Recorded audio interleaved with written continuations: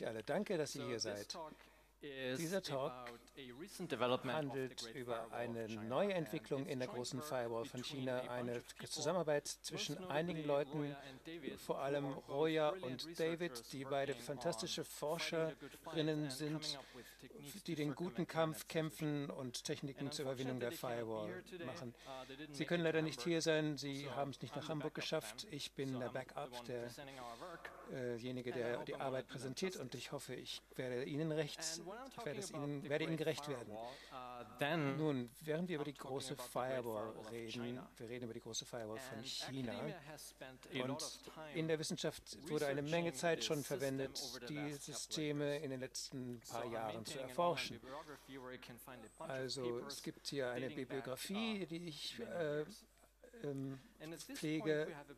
Und es gibt inzwischen ein recht gutes Verständnis von vielen Aspekten dieses Systems. Wir wissen zum Beispiel, was blockiert wird.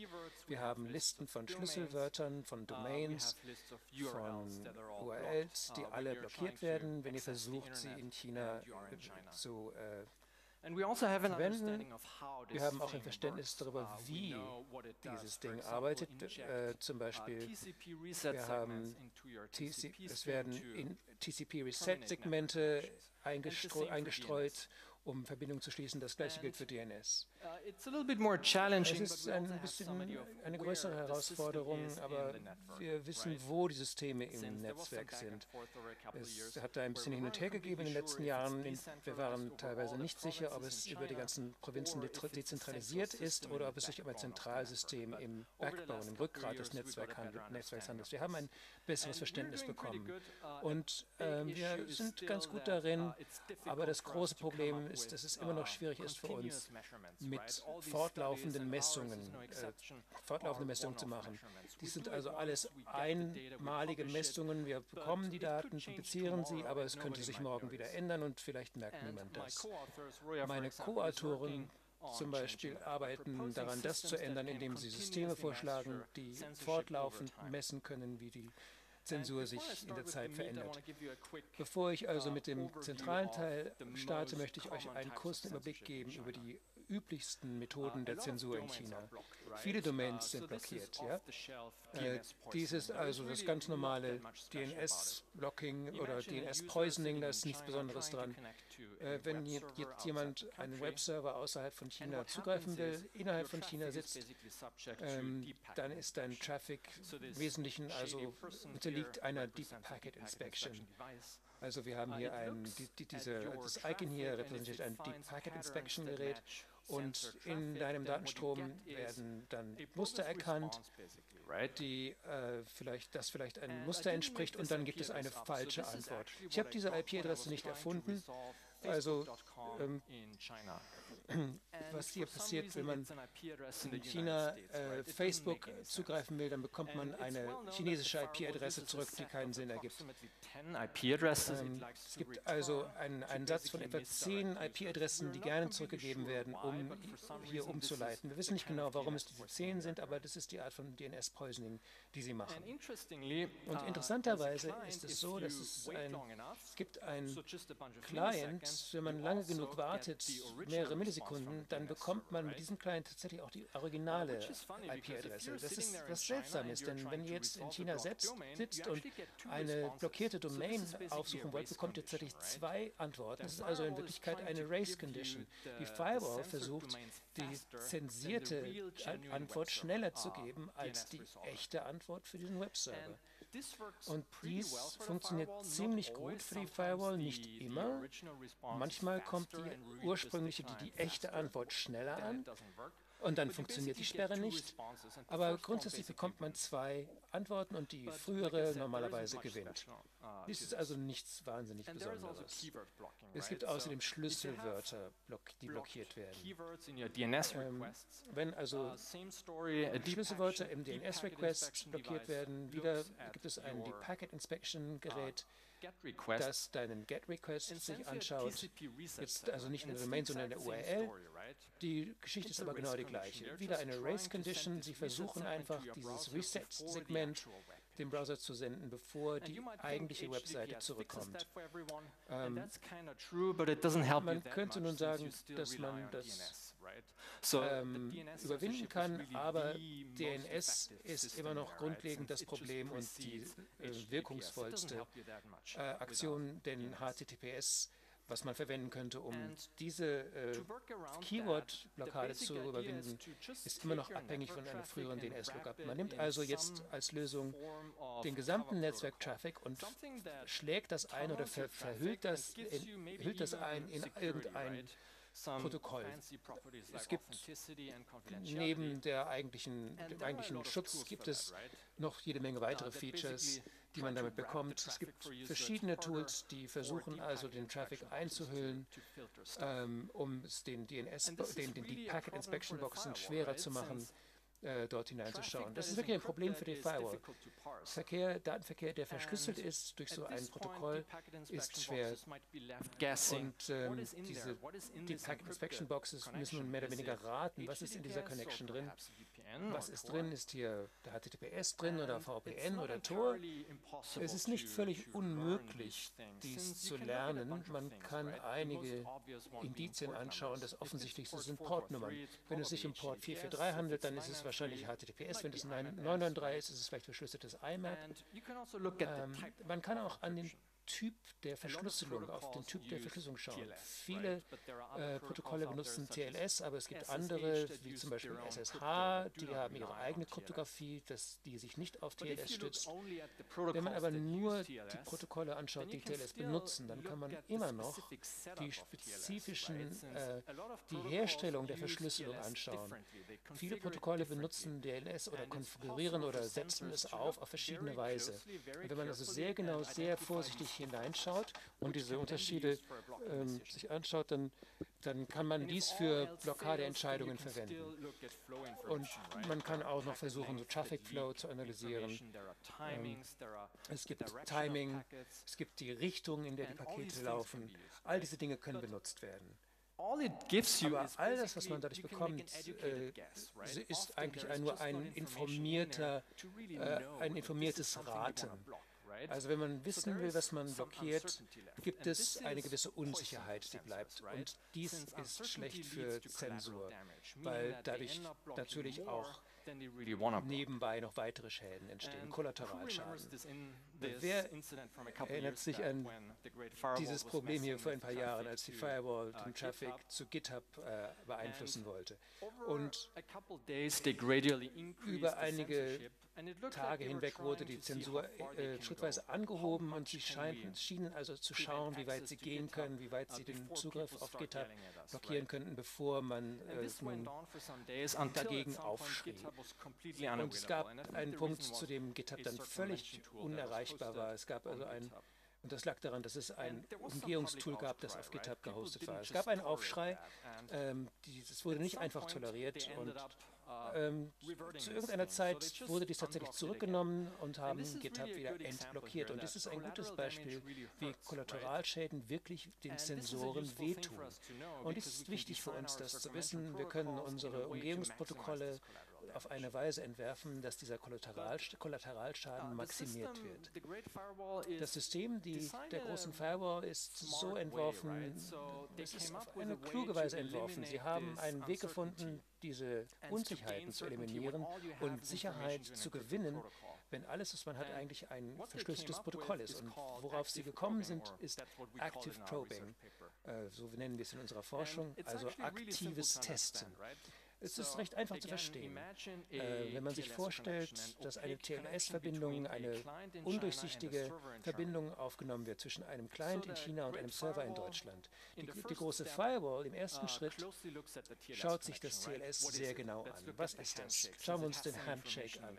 Gibt es da Informationen, die man nutzen kann, um etwas zu lernen? Und im Fall von Tor äh, schaut es nach etwas, was sich die Cypherlist der TLS-Clients nennt. Äh, Im Wesentlichen eine Liste, die der Client an den Server setzt, um ihm zu sagen, was für Server er supportet. Und es stellt sich heraus, dass dies mehr oder weniger ähm, einmalig ist für Tor. Tor versucht hier nun sich einzustellen zwischen auf Kommunikation zwischen Firefox und Apache und das geht gut, bis was anderes passiert. Also es ist ein ärgerliches Spiel, was man hier spielen muss. Und, was die, und das ist etwas, was die große Firewall ausnutzt. Sie denkt vielleicht, schauen wir mal, das könnte eine Torverbindung sein. Wir sind nicht völlig sicher. Es könnten irgendwelche unbekannten Protokolle noch existieren, die genauso aussehen. Aber wir haben keine Ahnung. Wir müssen Sicherheit haben, oder? Wenn wir jetzt irgendwas blockieren und es ist ein wahnsinnig wichtiges finanzielles Ding, eine Anwendung, dann, dann haben wir nichts wirklich gewonnen. Ja?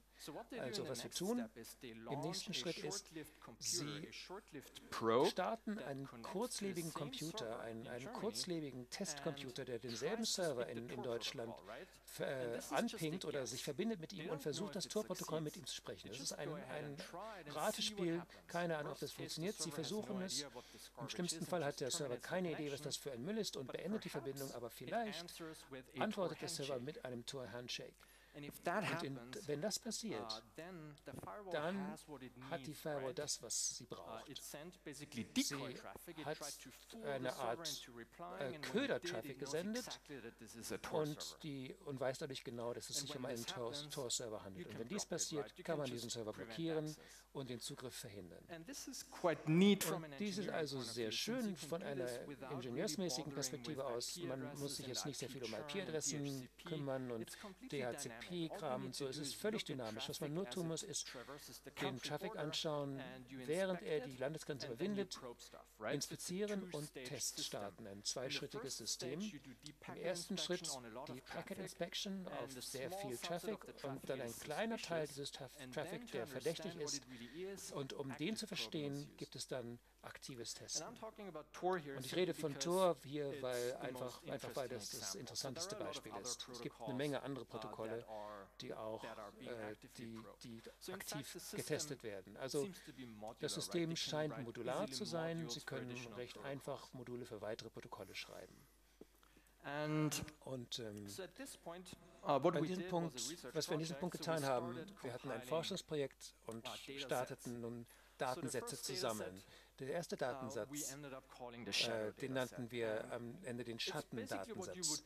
Dies ist also im Wesentlichen, was man tut, wenn man so etwas hacken möchte. Man versucht also ähm, Beobachtungspunkte in China zu finden bei zwei verschiedenen ISPs.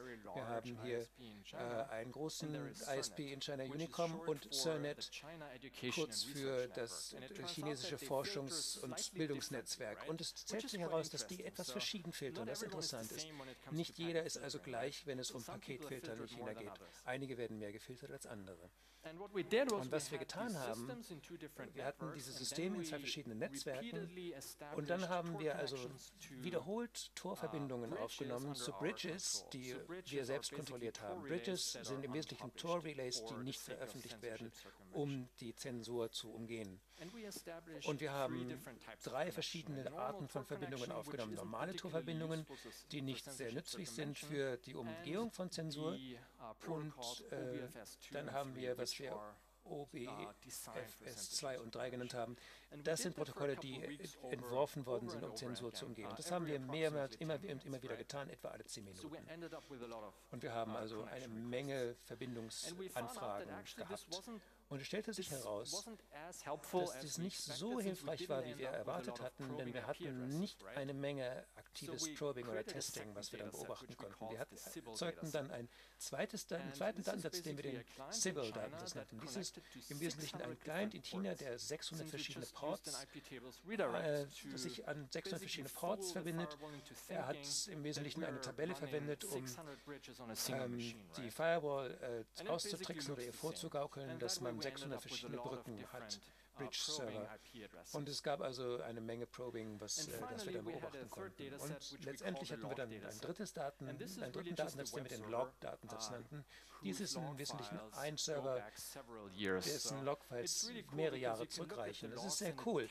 Wir konnten sie, uns die Logs anschauen und konnten nun ähm, über die Zeit feststellen, wie sich das aktive Testen, das Probing entwickelt hat über die Zeit. Das erste interessante Ding war, wo all diese IP-Adressen herkamen.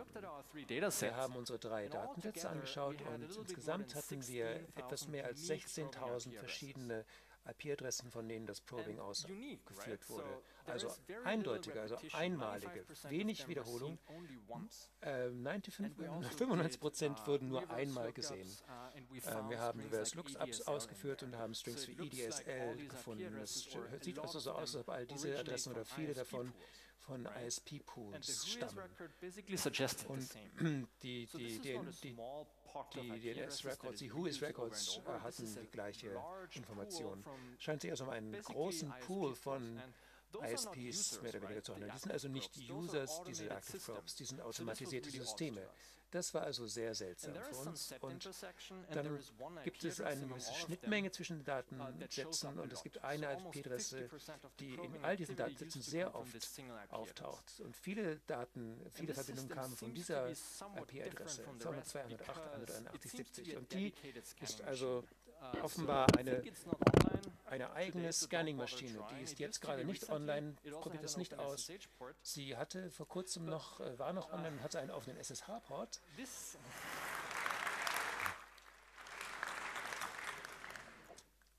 Aber es scheint also ein eigenes, abgestelltes System zu sein, unterschiedlich von allem anderen. Und was dies heißt für uns ist, wir können jetzt nicht einfach eine Blocklist erstellen von aktiven Probes und äh, sagen, äh, stellt das in eure IP-Tables ein und kein, keine Probe mehr wird jemals wieder auftauchen. Die Liste ist, ist zu groß und sie ist auch nicht vollständig. Also unsere Annahme war, vielleicht äh, kapern sie all diese IP-Adressen, vielleicht vielleicht gehören in diese Adressen gar nicht. Sie, sie borgen sie nur aus für eine kurze Weile für einen Test und geben sie dann zurück. Es war seltsam. Wir konnten leider es nicht schaffen, diese Probes, mit diesen Probes zu kommunizieren außerhalb der Testverbindungen, diese selbst initiierten. Also die wurden gefiltert. Wir konnten keinen Traceroute ausführen zu ihnen. Es gab dann Time-Ops, einige Hops vor dem uh, Ziel. Wir konnten zu den Probes kein, keine Gespräche aufnehmen. Also sie redeten mit uns, aber umgekehrt war es nicht möglich. So also nicht viel Interaktion möglich und wir hatten also dann nur noch die Chance, Muster in all den Daten, die wir sammelten, zu finden. Und wir haben die systematisch versucht, äh, einfach von unten nach oben im, im TCP, im Schichtenmodell. Wir haben also zunächst mal in der IP-Schicht nach Mustern gesucht. Und wir haben hier nicht sehr viel Interessantes gefunden. Es gibt eine relativ enge Verbindung von TTL-Werten, was nicht unbedingt äh, erstaunlich ist, kann mit Routing erklärt werden. Aber wir hatten auf den anderen Layers interessantes Zeug. Also zum Beispiel diese, die meisten dieser 16.000 IP-Adressen nutzten alle 16.000 möglichen Portnummern aus, was man normalerweise in modernen Betriebssystemen nicht findet. Sie nutzen die die, die, Anzahl der bekannten Portnummern uh, und nicht mehr. Aber hier wurde das alles benutzt. Und wir hatten auch interessante äh, Muster in Timestamp-Werten. Aber wir haben hier nicht die Zeit, es sind, findet sich in unserem Forschungspapier. Dies schien also, äh, dies gab uns den Eindruck, dass es sich hier keinen normalen TCP-Stack in irgendeinem Kernel handelt, vielleicht äh, irgendwie programmiert, um, um die Probing-Aktivitäten besser zu skalieren. Wir wissen es nicht genau. Die interessantesten Muster, die wir fanden, waren in den äh, Sequence Numbers, den, den Sequenznummern, äh, die zu Beginn der TCP-Verbindung genutzt wurden. Um euch kurz zu erinnern, äh, TCP äh, hat eine 32-Bit-Nummer als Segmentnummer und äh, das hat die schöne Eigenschaft, dass man dadurch einen Angriff hat oder einen, einen Schutz gegen Angreifer, die sich außerhalb des Pfads befinden, weil es schwer wird, diese Sequenznummern zu raten. Und was man nun tut, ist, die initialen Sequenznummern zu, zu randomisieren, Zufall. Äh, und das kann man in einem Diagramm aufzeichnen und hier ist, was man vielleicht erwartet, wenn man eine Menge von äh, Sequenznummern über die Zeit plottet. In der x-Achse ist die Zeit und in der y-Achse ist der Wert der initialen Sequenznummer einer TCP-Kommunikation. Jeder äh, Punkt hier ist also ein Startsegment einer TCP-Verbindung, das wir hier gefunden haben. Dies ist also ein reales Beispiel aus einem modernen Linux-Kernel. Ich habe äh, das alles äh, extrahiert und hier geplottet und es scheint sich um ein Zufallsmuster zu handeln, wie man es erwarten würde. Und man würde nun das gleiche Bild eigentlich erwarten, wenn man an die Active Probes, auf die Active Probes schaut. Wenn wir also all diese Syn-Segmente, die initialen Segmente einer TCP-Verbindung sich anschaut, sieht man nicht etwa Zufall, sondern dies. Und das ist wirklich seltsam, oder? Ein etwas, äh, etwas schräges äh, Muster, man kann dies verbinden und dann wird es ein bisschen offensichtlicher. Dies ist also ein Zickzackmuster. Es geht nach oben, bis es zurück auf, auf die Null zurückgeht und diese Sequenznummern sind perfekt korreliert mit der Zeit. Also die Sequenznummern werden von den Zeitstempeln abgeleitet. Dies offenbar ist was passiert und das ist sehr interessant. Es handelt sich nicht um eine Maschine hier. Dies sind die Sequenznummern von Hunderten von Maschinen über verschiedenste IP-Adressen. Dies ist also äh, ein zustandsgebundener, zustandsgebundenes Verhalten. Und man findet auch interessante Sachen im TLS-Layer. Wenn das Protokoll, ähm, das Tor-Protokoll besteht aus TCP und dann TLS und dann das Tor-Protokoll. Also auf dem TLS-Layer über TCP direkt schauen wir uns das Client Hello an. Und tatsächlich schaut das, sieht das wieder seltsam aus. Nicht, was man normalerweise hätte. Es gibt keine zufällig generierte SNI. Die Tor-Klienten, die an Server senden, äh, die fehlt völlig. Die äh, Verschlüsselungsalgorithmen, die gewählt werden, sind auch äh, nicht normal, sondern was ganz Eigenes. Ah, ähm, um euch hier einen Eindruck zu geben, wir haben hier die Cypher-Suits auf einem Torguard-Relay hier aufgezeichnet. Äh, offensichtlich äh, natürlich keine IP-Adressen. Alles, was wir hier haben, hier ist die Frequenzverteilung und die Häufigkeitsverteilung der verschiedenen Verschlüsselungsalgorithmen. Und wir hatten mehr als 200.000 verschiedene Verschlüsselungsalgorithmen in weniger als zwei Stunden. Und die spezifischen, die die Test-Probes äh, benutzt haben, ist sehr, sehr un, äh, ungewöhnlich, nur 76 Einträge. Also ich weiß nicht, was hier los ist. Vielleicht kommen die alle von China. Ähm, das ist also nicht etwas, was ein normaler Tor-Client senden würde. Und wenn man dann auf den letzten Layer geht, das ist, was Probes tun, was sie jetzt mit einer, wenn sie sich mit einem Bridge verbinden, nachdem TCP und TLS hergestellt worden ist, was machen sie dann als nächstes? Sie senden einfach eine Version an die Bridge und nach der Protokollspezifikation Zertifizierung äh, werden eine Versionszelle und eine Net-Info-Zelle ausgetauscht. Und die Probe an diesem Punkt macht die Verbindung dann sofort wieder zu. Es kümmert, sie kümmert sich nicht darum, einen, einen echten Tor-Circuit, Tor-Kreislauf aufzumachen, ähm, weil zu diesem Zeitpunkt schon alles bekannt ist, was man wissen muss. Dies ist eine Tor-Bridge, nachdem also Versionszellen ausgetauscht worden sind. Dies ist also offensichtlich keine Referenzimplementierung eines Tor-Clients. Äh, die wir haben. Das scheint handgemacht zu sein. Uh, Und wie vorher haben wir hier eine Menge uh, von Zustandsleakage. Also wir bekommen mit, was, was der Zustand ist. Ähm, es ist jetzt sehr interessant, sich zu überlegen, wie dieses System entworfen ist. Wir haben also einige Abschnitte dazu in unserem Forschungspapier, aber leider haben wir keine Antwort. Wir haben Hypothesen, einige sind wahrscheinlicher als andere, denken wir, wir wissen es nicht wirklich. Also wenn ihr irgendwelche Ideen habt, solltet ihr mit uns in Kontakt treten, weil wir wirklich so gern wissen würden, wie das Ganze funktioniert.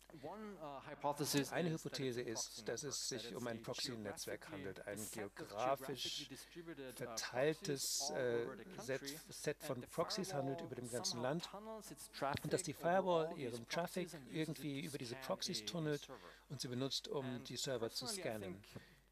Ich denke eigentlich, dass das ein bisschen zu viel Aufwand sei ähm, und es einfacher erreicht werden könnte, aber unsere Daten sind ein bisschen widersprüchlich. Wir können hier nichts äh, ausschließen.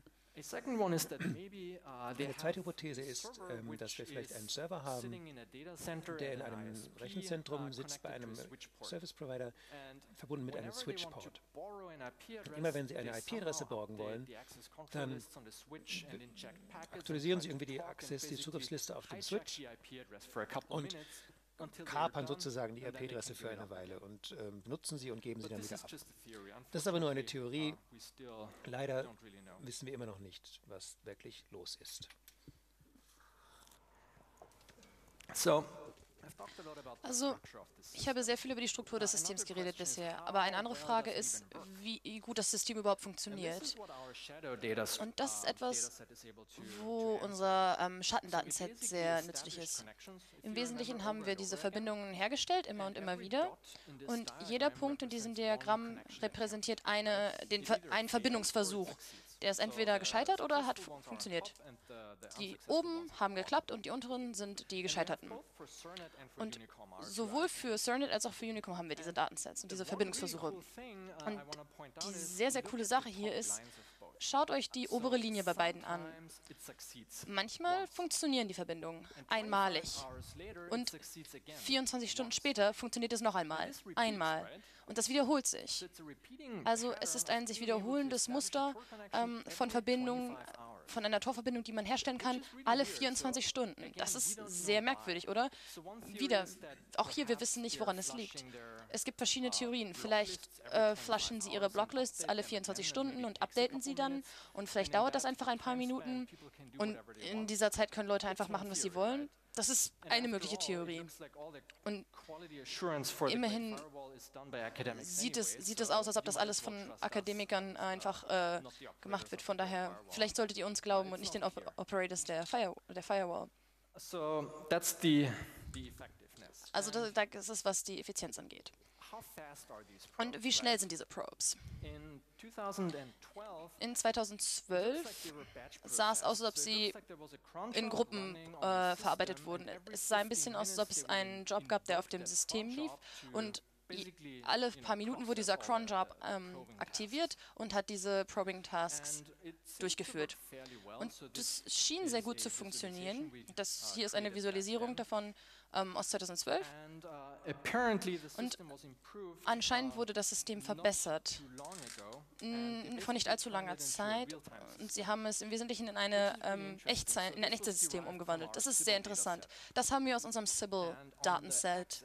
Und auf der X-Achse seht ihr die Ports unseres Datensets von äh, 0 bis 600.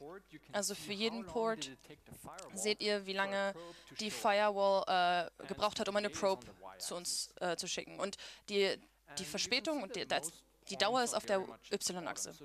Und die, ihr seht, die meisten Punkte sind sehr weit unten. Also sie, es gibt sehr schnell eine Probe. Also normalerweise sind es nur 500 Millisekunden. Die meisten Probes brauchen nur eine halbe Sekunde von dem, der ersten Verbindungsversuch um äh, diese wirklich mit einer Probe anzugehen. Also das scheint äh, sehr schnell zu gehen und, und, sehr effizient zu sein. Aber es gibt einige äh, Outlier, einige Abweichungen, die wir nicht ganz erklären können. Ihr seht diese Anstiege, die dann plötzlich linear absteigen. Wir sind nicht ganz sicher, woher das kommt. Wir glauben, dass viele von diesen ähm, wahrscheinlich Implementationsartefakte repräsentieren. Also, aber im Wesentlichen, wir machen die Qualitätskontrolle für den Great Firewall gerade, deswegen können wir das auch nicht sagen. Also so viel zum Design des Systems. Also ich habe über Tor, nur über Tor geredet bisher, einfach weil es das, das interessanteste Beispiel ist. Also immerhin haben sie da sehr viel Arbeit reingesteckt, aber es gibt auch noch sehr viele andere Protokolle, die von diesen Probes untersucht werden und von der Firewall. Und das ist eine nicht vollständige Liste. Es sieht ein bisschen aus, als ob es in 2011 angefangen hat, als jemand einen Artikel geschrieben hat und darüber geschrieben hat, wie er merkwürdige SSH-Pakete aus China mit anscheinend zufälligem Inhalt enthalten hat. Damals war man nicht so sicher, was es war oder wo es wofür es benutzt wurde, aber anscheinend waren das einfach äh, Probes und es war einfach Probing. Probing bedeutet nicht, dass es auch etwas geblockt wird. Es kann auch sein, dass es Probing gibt, wo ähm, niemals etwas geblockt wird. Manchmal ist vielleicht einfach nur experimentiert. Uh, Dann gab es Probing bei ähm, OpenVPN für eine Weile, bei äh, SoftEther, das ist ähm, Teil des VPN-Gate-Protokolls. Über Tor habe ich schon geredet. Auch für Googles AppSpot. da gab es einen kleinen und ein kleines und sehr, sehr gutes um, Umgehungstool namens GoAgent. Und ich glaube, vielleicht haben sie diese Probing-Aktivität ähm, äh, aktiviert, um das zu entdecken. Also vielleicht ist da mehr. Ich bin mir ziemlich sicher, dass da mehr ist. Also vielleicht, wenn ihr irgendwelche Ideen habt, dann kontaktiert uns gerne. Also und wir haben uns auch etwas uns sehr genau angeguckt, was wie die Great Firewall mit OBFS 2 und OBFS 3 umgeht. Und es dauert nicht sehr lange, um herauszufinden, dass es da ähm, Anomalien gibt. Und es sieht wieder so aus, als ob sie einfach keine Referenzimplementierung nutzen, was mich eigentlich überrascht. Denn all diese Software, die sie versuchen hier zu proben, von Tor über OBFS 2 und 3, OpenVPN, das ist alles freie Software, oder? Man kann das einfach herunterladen und in sein Probing-System einbauen und, und laufen lassen. Aber trotzdem, aus irgendeinem Grund scheinen all diese Dinge handgemacht zu sein, vielleicht für mehr effizient oder niemand wollte wollte vielleicht herauskriegen, wie man die Originalsoftware gut nutzt. Aber das Seltsame, das Ironische ist, dass dieses Handmachen es möglich macht, die äh, Active Probes zu fingerprinten, nachdem diese Fingerprints angefertigt haben von unseren Servern.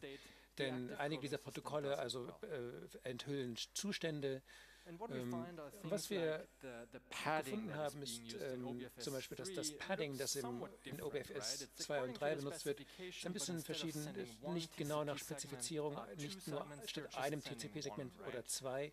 Statt zwei TCP-Segmenten wird eines gesendet. Es gibt uh, Fälle von doppeltem Payload, was man eigentlich nicht finden sollte in den Daten, weil das Payload eigentlich gleich verteilt sein sollte. Offen, äh, oft bekommt man also das gleiche Payload von zwei verschiedenen IP-Adressen.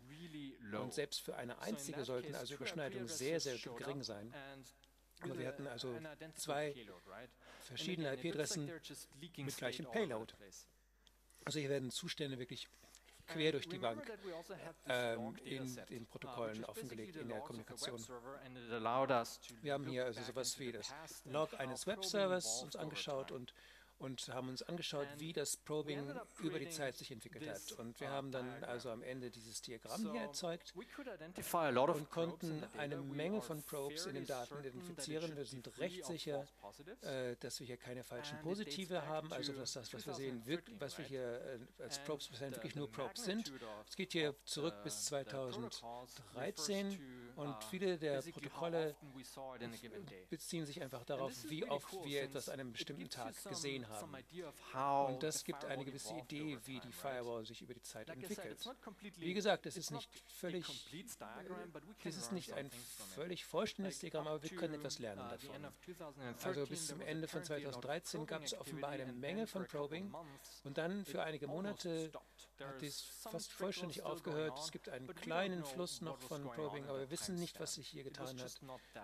Äh, es gab also wirklich kaum Probing. Dann sehen wir auch, wie neue Protokolle eingeführt werden und vielleicht einfach gecastet werden hier. Ähm, es ist sehr cool zu sehen, wie diese Dinge über die Zeit anfangen zu passieren. Aber wieder mit einem Korn Salz nehmen, ist nicht vollständig. Es gibt bestimmt noch mehr als das, was wir hier einfangen konnten in diesem Diagramm.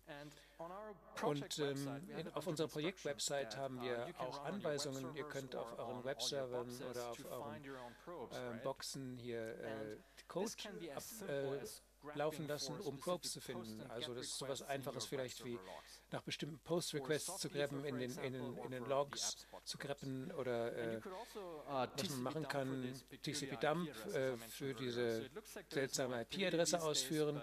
Sie scheint im Moment nicht aktiv zu sein in diesen Tagen, aber dies wäre also ein sehr einfacher Weg, um interessantes Zeug zu bekommen. Und ihr könnt nicht nur nach Umgehungsprotokollen äh, suchen, sondern ähm,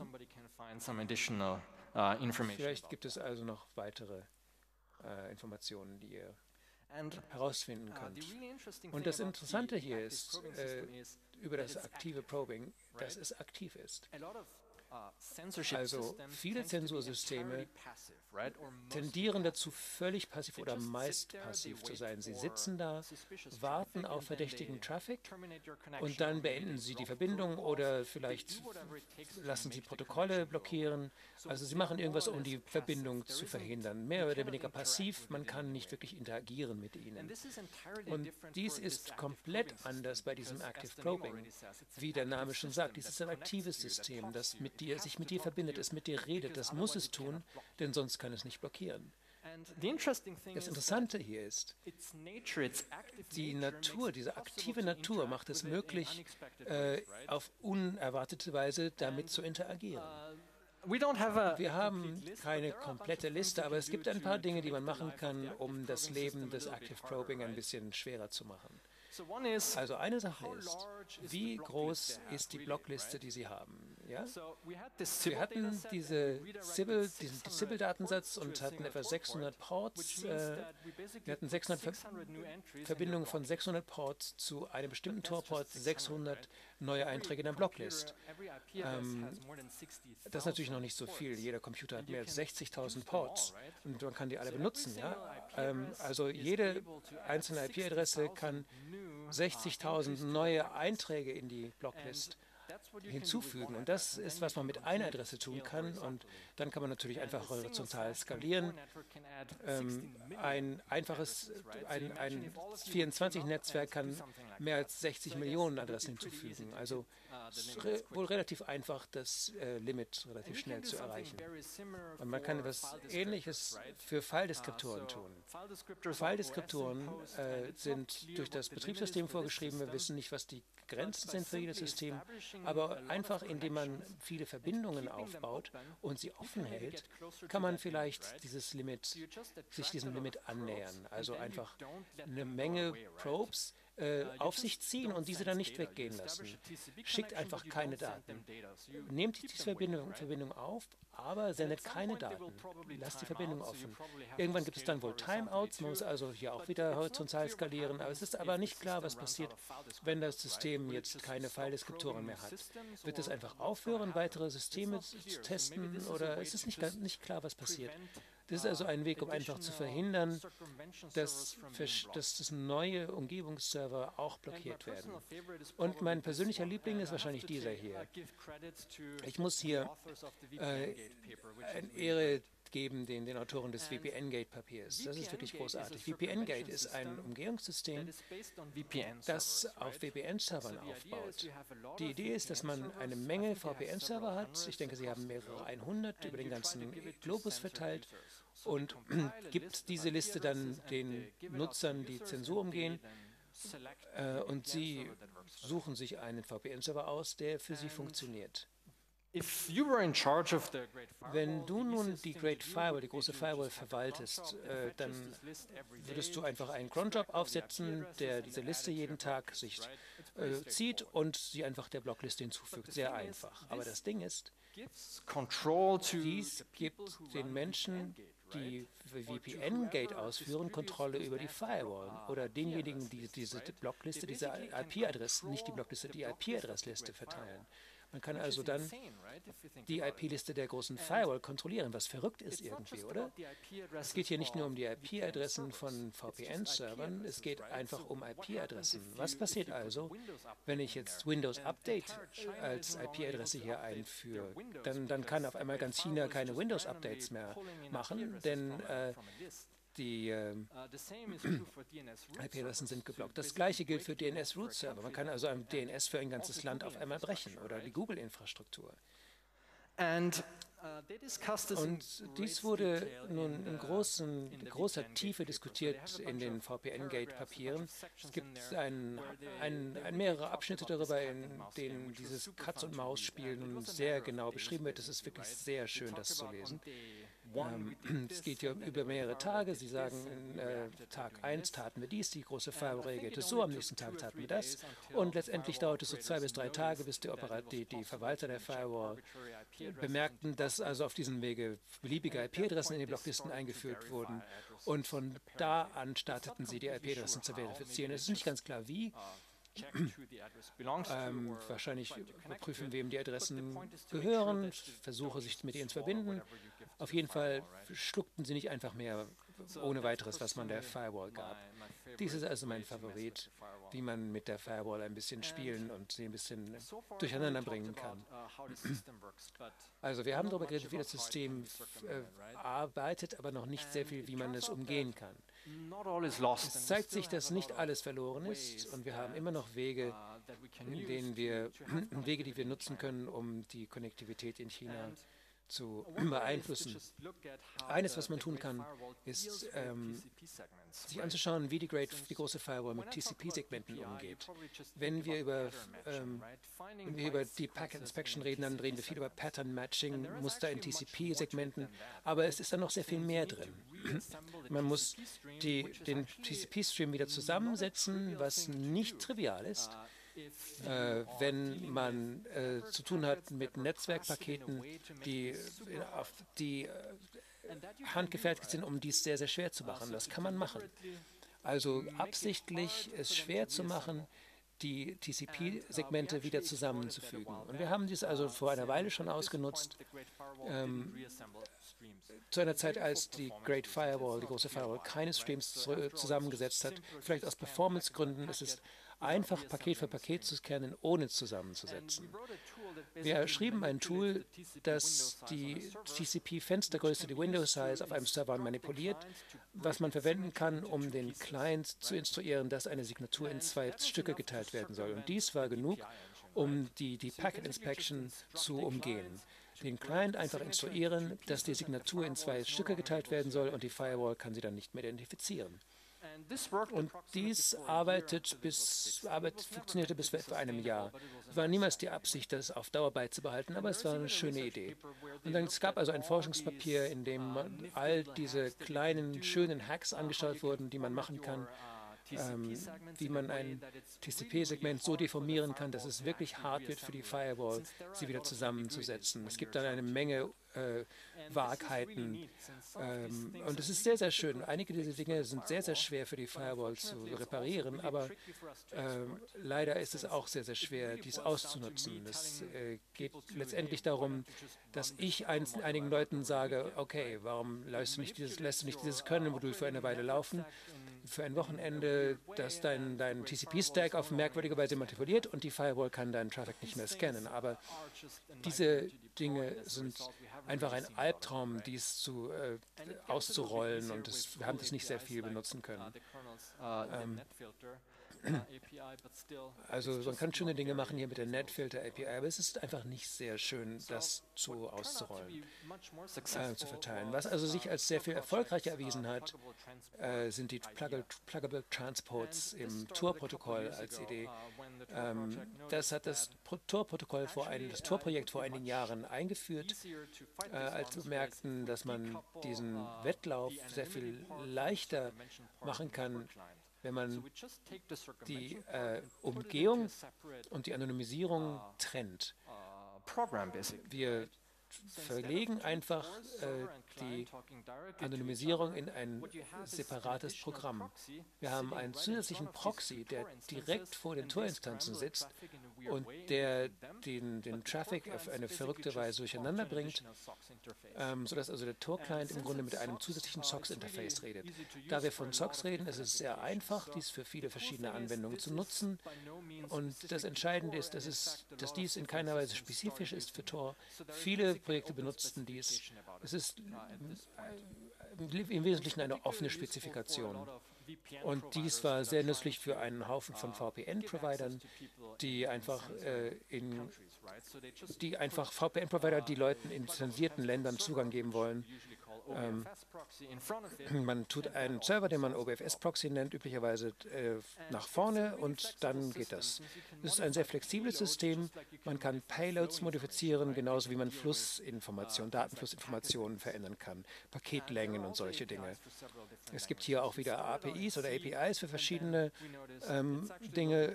C war am Anfang, C war die erste Sprache, dann merkte man, dass es ziemlich schwer ist, in C das zu schreiben. Dann gibt es eine Implementierung in Python, in inzwischen und einen in Go. Und ähm, rechts könnt ihr sehen, äh, könnt ihr eine Visualisierung sehen von dem Payload von Vanilla Tor verglichen mit OBF, OBFS 2 und 3.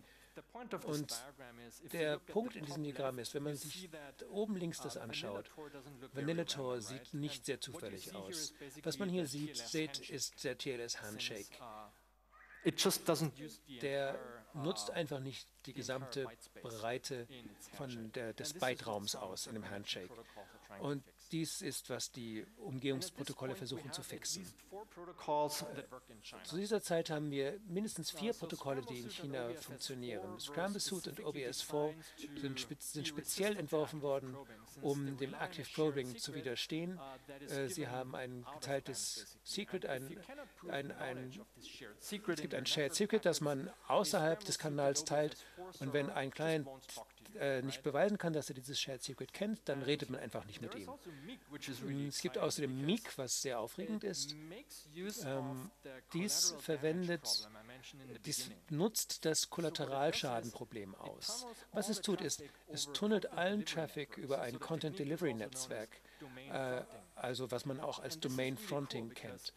Äh, dies ist sehr cool, denn die Idee ist, wenn man ein Sensor ist, äh, ist man auf einmal gezwungen, Entscheidungen zu machen. Muss man dieses gesamte Content Delivery Netzwerk jetzt blecken, äh, blocken und alles, was darin angeboten wird, oder wird man alle, Users, alle User durch und äh, ermöglicht dadurch die Umgehung? Und die Antwort üblicherweise ist nein, das mache ich nicht, das wäre verrückt. Es gibt so viele Websites, die auf Content Delivery Networks gehostet sind heutzutage, dass es einfach zu viel Arbeit für einen Sensor wäre.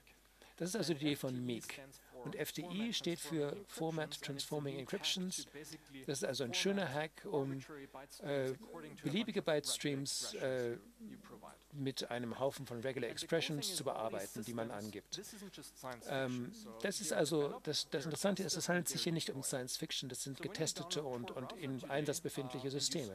Wenn man also in einem Browser heute ist und ähm, man bekommt, man kann einen Browser benutzen und im Wesentlichen ein Fenster aufgehen lassen, das einem die Auswahl gibt über ein Umgehungsprotokoll.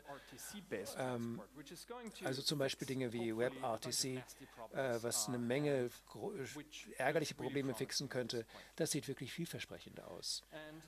Ähm, das bringt mich zum Ende meines Talks. Wir haben eine Projektwebsite mit unserem Forschungspapier und der ähm, das ist alles frei und offen und ähm, die Daten und der Code und hier sind unsere E-Mail-Adressen. Vielen Dank.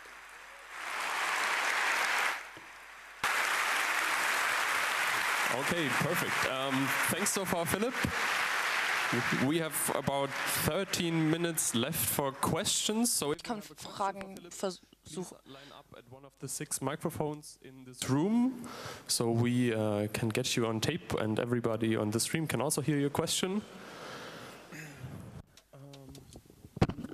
So, jetzt ist Zeit für Fragen. Okay, also da vorne Mikro 1. Vielen Dank. Danke für den Talk. Ich habe eine Frage. Gibt es äh, irgendwelche ähnliche ähm, Projekte für das nordkoreanische Internet ähm, zensieren Sie auf eine ähnliche Art oder zensieren Sie überhaupt? Die Frage. Also ich kenne keine Systeme in anderen Ländern. Es würde mich nicht überraschen, wenn dies zu irgendeinem Punkt passiert. Dieses, diese Sachen kann man einfach in die Packet Inspection Boxes äh, tun und verkaufen an andere Länder. Ich, ich, ich weiß nichts, ich bin ich habe nichts gesehen, aber ich würde nicht überrascht sein. Eine Sache, bevor wir mit dem QA weitermachen. Wenn ihr wirklich gehen müsst, jetzt bevor das QA zu Ende ist, dann macht das bitte leise und ruhig. Und einfach auch, um den Speaker hier zu respektieren und das QA, damit das QA in Ruhe zu Ende machen können. Also Mikro 2. Du hast dich gewundert ähm, wegen der Probes und wo sie herkommen. Viele Computer in China laufen immer noch auf Windows XP und äh, ihre Virusscanner sind von staatlichen Firmen. Also, naja, vielleicht hat das etwas mit dem Botnet zu tun. Ja, interessante Frage. Wir haben darüber nachgedacht, wir können dies nicht ausschließen. Unsere Idee war, es wäre schwer, dies geheim zu halten, oder? Aber andererseits hat niemand das gemerkt. Ähm, vielleicht. Also Mikro 3 bitte. Habt ihr irgendwelche Analysen gemacht, äh, was ähm, IPv6 angeht? Das fügt ja noch mehr Komplexität und neue ähm, Herausforderungen dazu. Ja, leider haben wir das nicht getan. Wir haben dieses Gerücht viel gehört, dass IPv6 gegen Zensur gefeit ist. Ich weiß nicht, ob das stimmt, das hört sich cool an, aber leider habe ich keine wirklichen Informationen. Also gibt es noch irgendwelche Fragen von dem Signal Angel aus dem Internet? Okay. Frage von Alex CCP2. Gibt es irgendwelche Ingenieure aus dem von innen, die irgendwelche, irgendwelche Dinge geleakt haben über die große Firewall? Ähm, nicht, dass ich wüsste, aber dies ist einer der Gründe, warum unsere E-Mail-Adressen hier auf der Folie sind, nehme ich an. Uh, also dann noch eine Frage von dem Signal Angel aus dem IRC. Welche Gründe gibt es anzunehmen, dass China nur Probes von und innerhalb von China ähm, benutzt? Ja, ich denke, es hängt von der Infrastruktur ab. Vielleicht ist es einfach einfacher technisch. Es gibt vielleicht einen technischen Grund und sicherlich auch einen politischen. Ähm, man kann dies im eigenen Land tun und wenn man stattdessen mit, diesen, mit dem Netz, mit der Netzwerktechnik in anderen Ländern herumspielt, das hat große Auswirkungen und ich denke, Leute sind klug genug, das nicht zu ignorieren. Ich denke, das, die, das ist der Grund, es gibt wohl technische und politische Gründe, dies nicht zu tun. Es gibt tatsächlich Forschung, die sich anschaut, was es für Kollateral-Traffic auf DNS-Servern in China gibt, DNS-Poisoning.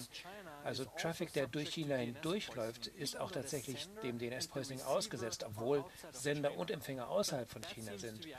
Das scheint nun versehentlich zu sein. Okay, noch eine Frage aus dem Raum. Mikro 4 bitte. Ähm, ja, es hatte mich gefragt, ob, ob sie jemals die Quelle blocken, anstatt nur das Ziel zu blocken. Ah. Nicht per IP-Adresse, glaube ich. Das Interessante ist, Sie blockieren, glaube ich, das SYNAC-Segment der TCP-Verbindung, was mehr oder weniger ähnlich ist zu dem Blockieren der Quelle. Und das fand ich erstaunlich.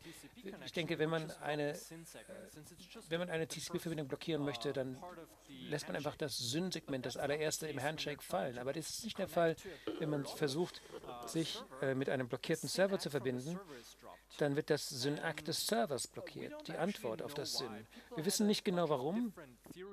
Es gibt verschiedene Theorien, ähm, die mit Access Control Listen auf Switches zu tun haben. Vielleicht sollen hier Leute getäuscht werden und denken, dass Traceroute funktioniert. Äh, vielleicht ähnlich. Also, noch eine Frage vom Signalengel. Also, Janix fragt, hat irgendjemand versucht, die Probes ähm, gegen die Chinesen zu benutzen, also einen Honeyball vorzubereiten, sie zu analysieren, auszunutzen, sie zu fingerprinten? Ich, mir ist nichts bekannt, aber ich denke, es gibt mehrere Wege, wie das System fehlschlagen kann, scheitern kann. Ähm, wenn man zum Beispiel beginnt, all diese Probe-Triggering, diese, diese Signaturen, die eine Probe auslösen, zu allen möglichen Protokollen hinzufügt, ähm, dann muss das System all diese Ziele auf einmal scannen. Ich bin mir nicht bewusst, dass es äh, Dinge, Versuche gibt, Probes auszunutzen, aber man könnte schon versuchen, sie zu täuschen, dass sie Dinge tun, dass sie sie nicht tun sollten. Okay, Mikro 5, du hast eine Weile gewartet. Uh, also ich habe mir gerade meine Logs angeschaut und ich habe einige Requests gefunden, for example von dem ähm, VPN-Service.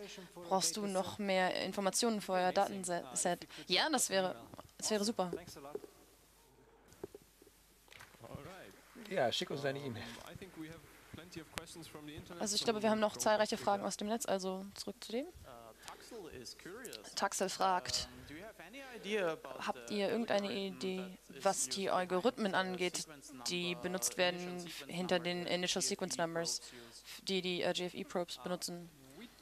Nein, haben wir nicht. Ähm, was klar zu sein scheint, ist, dass sie aus Zeitstempeln ab, aus der Zeit abgeleitet werden, aber der genaue Algorithmus, wie sie es tun, das ist mir nicht bewusst. Okay, alright. Then back to mic one, please. Also dann Mikro 1 wieder. Habt ihr eine Idee, welche Technik Sie benutzen?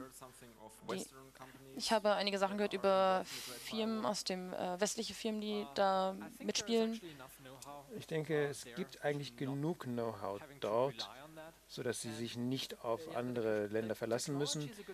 Aber die Technikfrage ist interessant.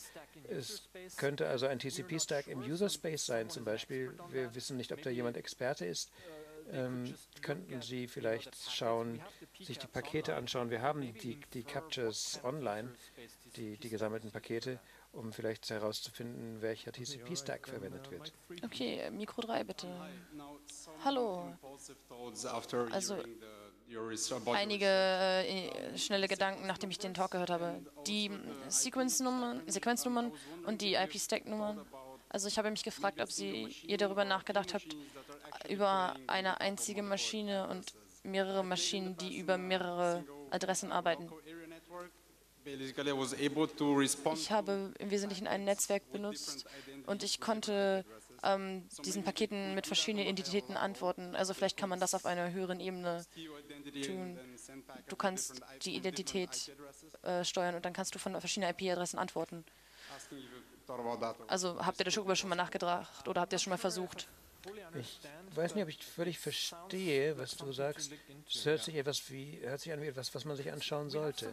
Wir haben noch mehr Muster in den TCP-TS-Wert, der also nahelegt, dass es sich um eine kleine Anzahl physischer Systeme handelt, vielleicht zehn. Ich habe in der Vergangenheit schon ein bisschen damit herumgespielt. Ich hatte einen Server und mit einem Python-Skript konnte ich den äh, Traffic überwachen. Und ich konnte einigen, zu, auf einige von diesen Requests beantworten mit verschiedenen Identitäten von über 100 IP-Adressen. Also ich konnte entscheiden, ob ich antworte oder nicht. Also vielleicht tun sie etwas nur auf einem, in einer, auf einem, in einer größeren Menge, also nur eine Idee. Ja, danke für den Hinweis. Also weil wir jetzt noch einige Fragen haben, noch eine Frage von Mikro 3. Könnt ihr eine Schätzung abgeben bezüglich des Mechanismus? Was ist effizienter, ähm, das DNS-Poisoning oder das Big Packet Inspection? Also die Packet Inspection wird, hat eigentlich das, nur das Ziel, ähm, dass in Paketen, dass man in Paketen was findet und dann DNS-Poisoning vielleicht macht. Äh, also ab, ich meine, wenn man die vergleicht, also wenn sie einfach die IP blocken und dich daran hindern, den Server zu benutzen, oder ob sie einfach sagen, nee, du kannst facebook.com einfach nicht benutzen. Ja, es sieht so aus, als ob die Länder äh, mehr und mehr von IP-Adressen abgehen. Es ist so schwer, mit denen umzugehen. Man möchte unabhängig sein von Endpunkten und so äh, IP-Adressen, Content Delivery Networks. Also es gibt zu viel Verbreitung von IP-Adressen, Ver Veränderungen. Also man möchte dynamischer werden und nur auf die Bytes schauen, die wirklich fliegen, anstatt auf die Endpunkte. Denn für das DNS-Poisoning, das klingt ein bisschen, als ob man das einfach mit DNS-Sec lösen könnte, wenn man die Antworten einfach authentifiziert und dann einfach die benutzt, die authentifiziert ist. Ja, ähm, sicher, es gibt Wege, das zu lösen. Man kann auch einfach warten auf die zweite Antwort und dann die zweite einfach wählen. Ja, okay, danke. Okay, die letzten, für die letzten beiden Minuten macht, stellt bitte schnelle, konzise Fragen. Also es gibt viele Papers über die große Firewall und ihr habt über die Fingerprints geredet, die die große Firewall benutzt. Und die, die Forschung, die ihr macht, führt, führt das zu einer Änderung in diesen Fingerprints, die in der Firewall benutzt werden? Ja, das ist eine gute Frage. Äh, sie ändern sich sowieso mit der Zeit. Menschen verwenden verschiedene Systeme, Fingerprints ändern sich dadurch, aber wir reden hier nicht über Tage oder Wochen, sondern Fingerprints scheint es ändern sich innerhalb von Monaten oder nur Jahren. Ähm, ich denke, es gibt einfach nicht so viele Menschen, die arbeiten an der, die an der großen Firewall arbeiten und sich an neue Techniken nicht ständig anpassen können. Also die Antwort ist ja, es gibt Änderungen, aber darüber in der Öffentlichkeit zu reden, ist nicht die äh, Haupt Antriebskraft für Änderungen. Passen Sie sich denn an an die Forschung, die es gibt in vielen Teilen der Welt, oder passen, ändern Sie es einfach aus anderen Gründen? Es gibt sicher einige Anpassungen, die passiert. Ähm, das Ding ist, niemand kümmert sich darum, ob du dein eigenes Umgehungstool hast, das vielleicht von fünf benutzt wird. Worum es geht, ist äh, Umgehungstools auf großem Maßstab. Egal wie gut oder schlecht ein Tool ist, sobald tausende Menschen es benutzen, wird äh, man dort hinschauen. Und das ist wirklich, was jetzt nun äh, auslöst, dass man daran arbeitet. Also, jetzt haben wir leider keine Zeit mehr. Also, Entschuldigung für die Leute, die eigentlich noch Fragen haben. Philipp bleibt noch etwas, also und ihr habt seine Kontaktdetails gesehen, also vielen Dank für etwas Applaus. Ja, und wir haben ja auch Kontaktdetails hier als Übersetzer.